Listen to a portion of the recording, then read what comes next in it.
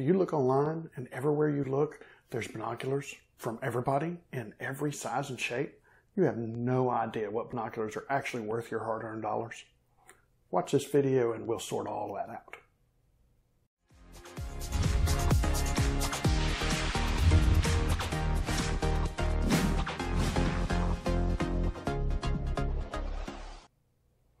In my last video, we discussed all of the basics of binoculars for astronomy. What we didn't get into is recommendations for specific binoculars. So I've had a lot of requests for that, so here we go. To start off with, um, the thing I really want to hammer home is when you're doing astronomy binoculars, you really don't want to cheap out. If you do 30 to $50 binoculars, you're going to wind up with bad optics, bad collimation, and bad coatings, and an overall bad experience. If you've already got them, try and use them. When you're ready to move up to something a little better, you don't need to spend $1,000 on a set of binoculars. But spending a little bit more money will get you a whole lot more of everything, and you will be much happier. So when I started all this off, I started with a pair of really old Sears binoculars. They were zoom. They had the little lever where you push on it and it zoomed in and zoomed out. They were remarkably good for what they were, uh, especially for something that I was using strictly to find, am I where I'm supposed to be to find my astrophotography target. I graduated from that because I wanted something that gave me pinpoint stars and more contrast and, and just seemed to focus better. Um, so I stepped up uh, pretty rapidly. The first set that I'd like to recommend um, is kind of the baseline, the the minimum I would recommend you start with, and realize that all these binoculars I'm going to talk about, if you can find them used, uh, will be a whole lot cheaper used.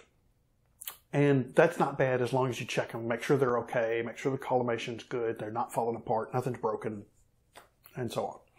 So the first pair are Orion Scenix, and they're about $99. Uh, they're 10 by 50s.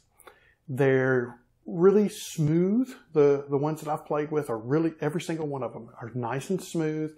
They've got pretty good collimation.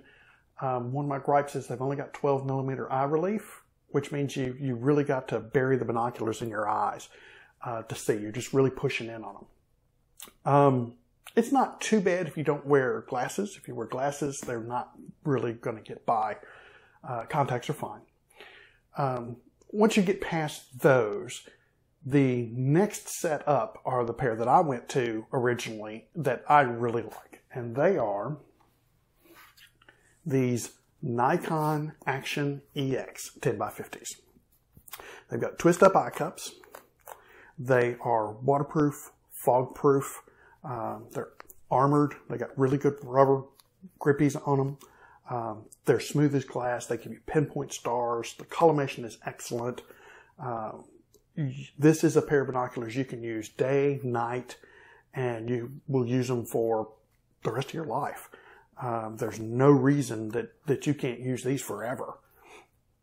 They're uh, just amazing binoculars. I, I still got them. I, I still love them. Uh, and I, I, probably will not ever get rid of them. They have pretty much been relegated to uh, daytime use now. Um, or I'll take them out and let somebody use them uh, when I'm using my main binoculars now.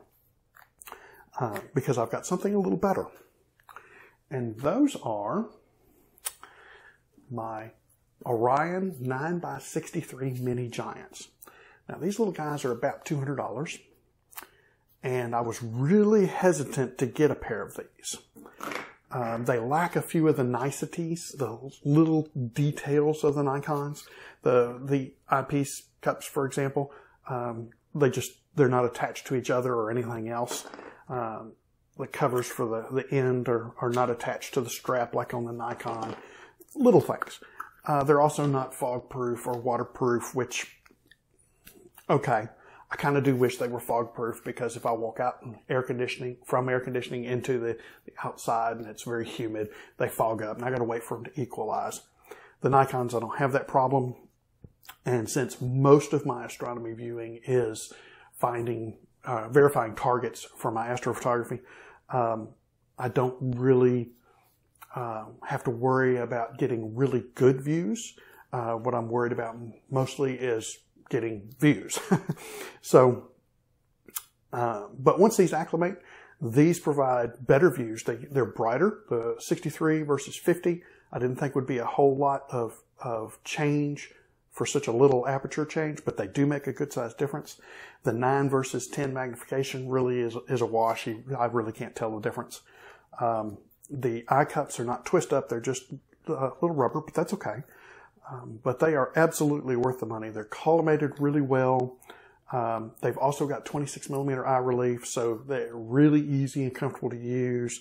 Just smooth as glass. These are absolutely my favorite handheld astronomy binoculars. So the next setup that I'm going to recommend, if you're doing, uh, if you want something in the next size up, would be something like a uh, 12 by 70 or 10 by 70.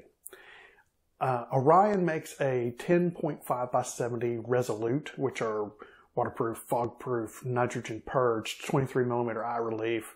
They're beautiful binoculars. They're smooth. They, they're pinpoint stars. The, they're just the uh, contrast in them is excellent. They're $400. And if you're doing a lot of, of viewing with binoculars, then $400 I can see.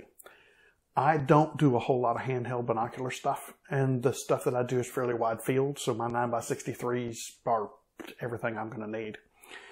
But occasionally it's nice to have something a little bigger, a little more magnification for quick views. Now, the Orion Resolutes I just recommended, they're, I want to say that they are tripod only. You know, you can put them on a tripod mount and put them up there you could use them for quick views like I do with the next pair I'm going to talk about. The problem is that's a lot of money for something you're only going to look through for a very short period of time. So if you're going to get the Orion Resolute uh, 10.5 by 70s, I recommend you get the tripod mount with them and only use them on the tripod. However, if you want a really good bargain and you want something a little bigger and a little more magnification to do quick views, these little guys are amazingly good for the amount of money. These are Zhumell 12 by 70s and they feel pretty good in the hand. They're pretty smooth, but a little bit more tension than I would like, but they're, they're still pretty smooth and pretty good. Um, they're not as heavy as the Orion Resolutes. Uh, so you can use them for a little while handheld, but they're just, they're too big you know, to sit here like this for, you know, 15, 20 minutes looking at something. That's just, no, that, that's too big. But for quick views, they work. And what's amazing is these little guys are pretty dang good for 70 bucks. I just, I couldn't believe it. The um, eye relief is 19.6, so it's a little small, but the, but that's okay. They got nice rubber eye cups. Um, the collimation was was really good. The contrast is good. The coatings seem nice. Are they as good as the, the Nikons or the Orion Mini Giants? No. But they're a whole lot of fun for $70. Um, once again, I really wouldn't use these for more than, you know, a couple of minutes of quick looking, uh, before you're, you get kind of tired. Um, and the, the problem is it, it's not whether you can hold them for that length of time. It's your arms start getting a little shaky when you're holding them up like this. And that little shake just destroys your vision. With the 9x63s, I really don't have that problem. Uh, and the smaller ones, I absolutely don't have that problem. So anyway, that's my quick list of binoculars that I recommend. Um, and I'll put links to them down below. But uh, to go back over them real quick, for a small, cheap set to get you started, uh, the Orion Scenix 10 by 50s for $99 are hard to beat. Um, they're really nice.